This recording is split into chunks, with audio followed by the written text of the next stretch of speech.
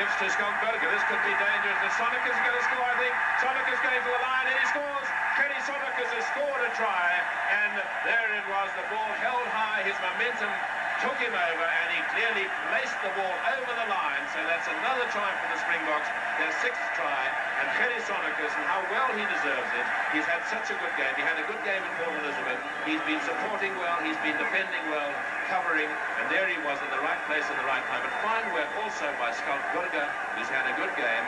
And that is a sixth try.